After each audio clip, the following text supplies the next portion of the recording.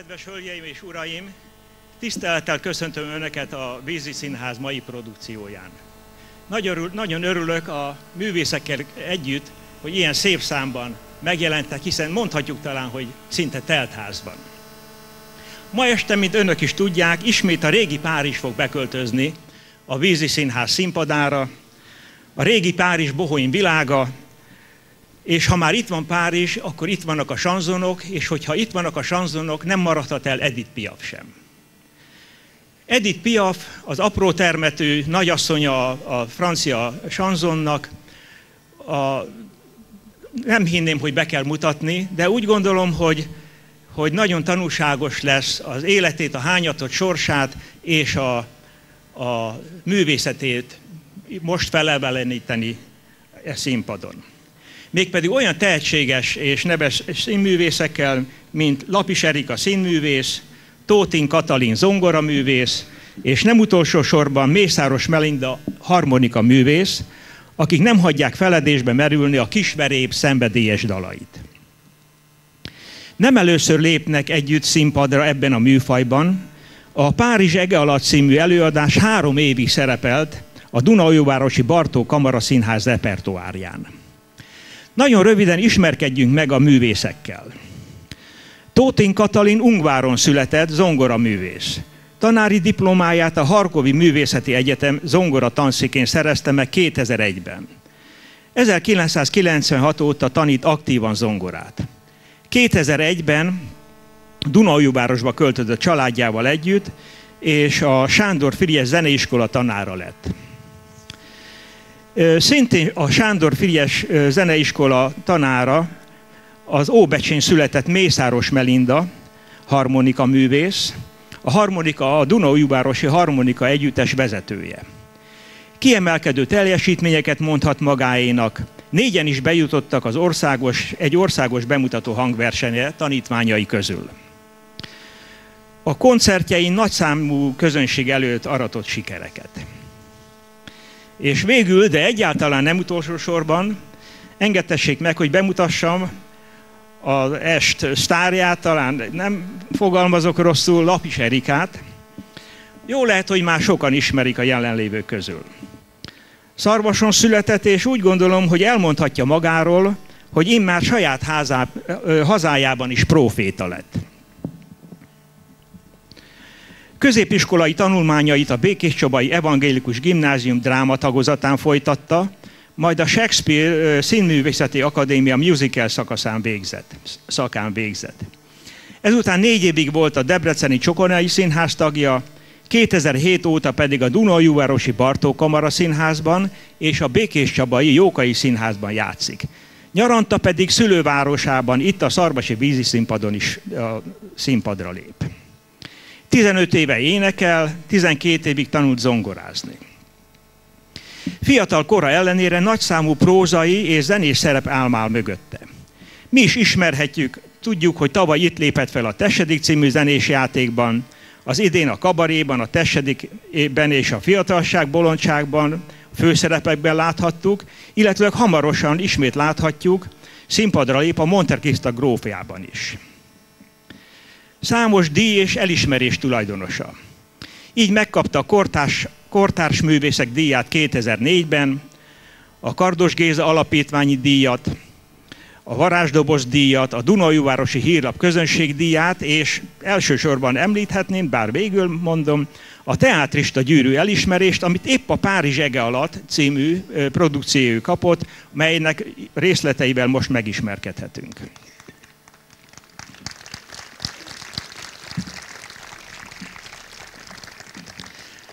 Lapis Erika egy alkalommal a következőt nyilatkozta egy interjú során.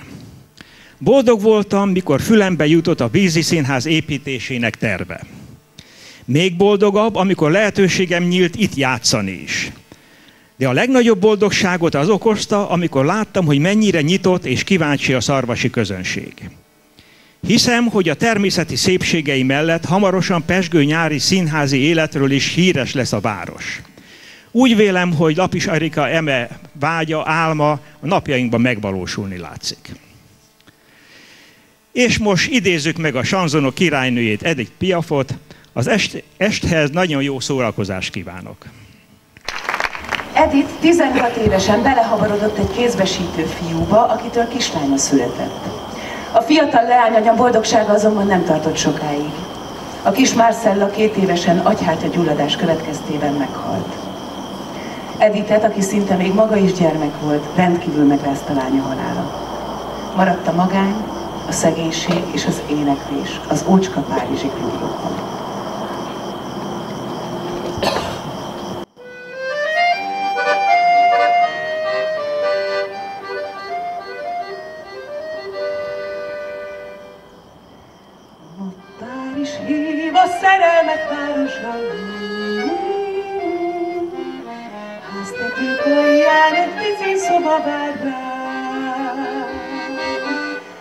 Ha bárki szólna, ne hallgass már oda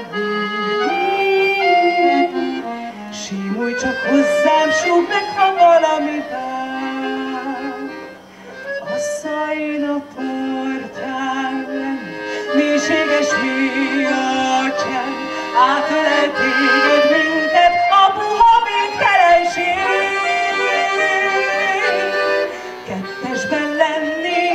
az alkalom.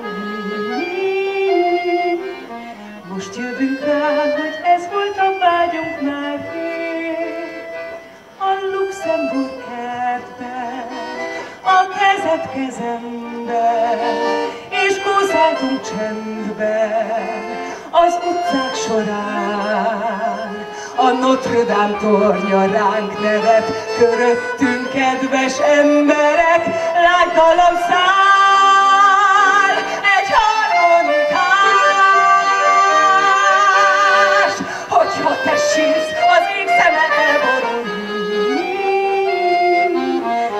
Lovagus könnye áztatja házak falát.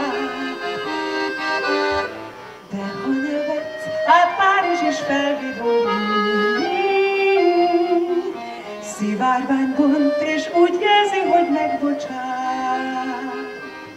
A szajna partján lenne mélységes pillanatján, átlelt téged minket a puha végtelenség. az alkalom.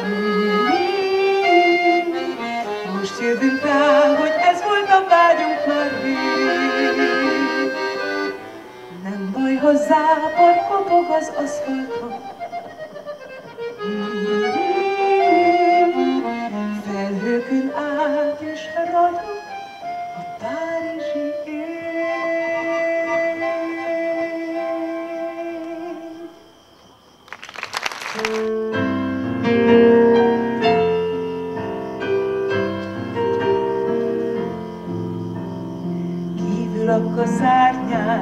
a kapunál, lámpa lángolt árván, most is ott talál.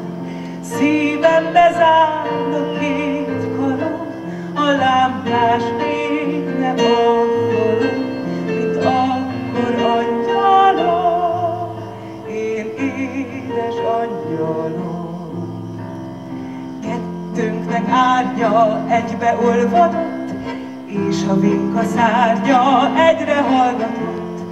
Hozzád repül ma búsdalom, de erre tér a két karom, mint akkor angyalom, én édes angyalom.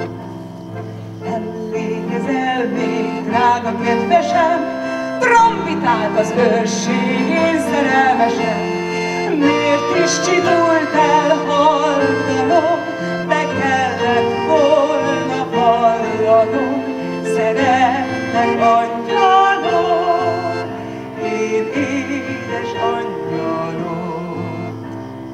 Száll a szél a szárnyán, vak sötét az ég, s otthonak a zárnyán régi lámpaig. Jaj, hogyha én te itt vagyok, a lány csak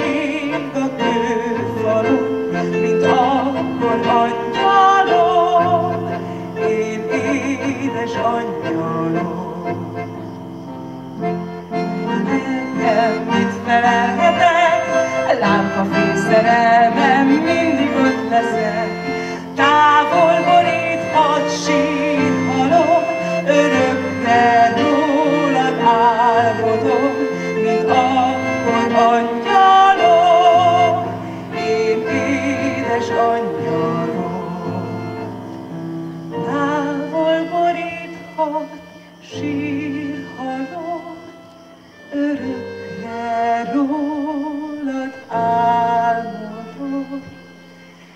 akkor anyja.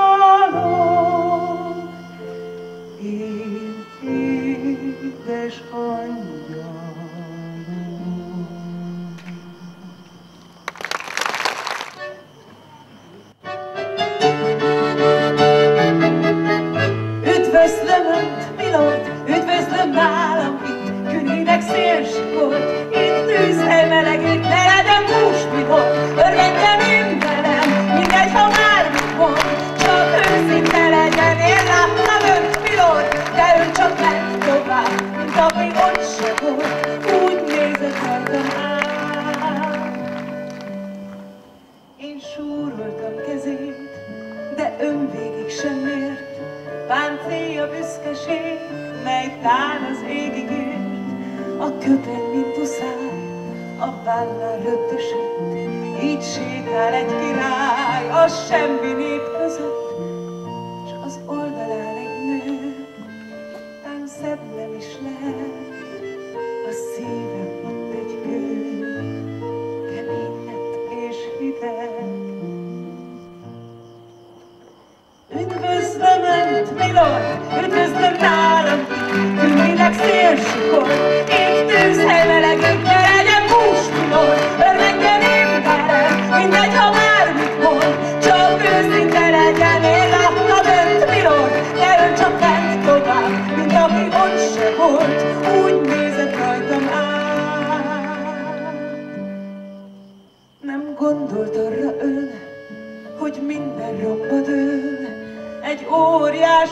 távol jön, messzi tájfenől, a tündér szemű nőt a hajó vitte el, s a napot odafönn felhőt akarta el, hát ettől sírni kell. De miért néz így rá? Könnyet nem érdemel egy tündér szemű lány. Figyeljen rám, mi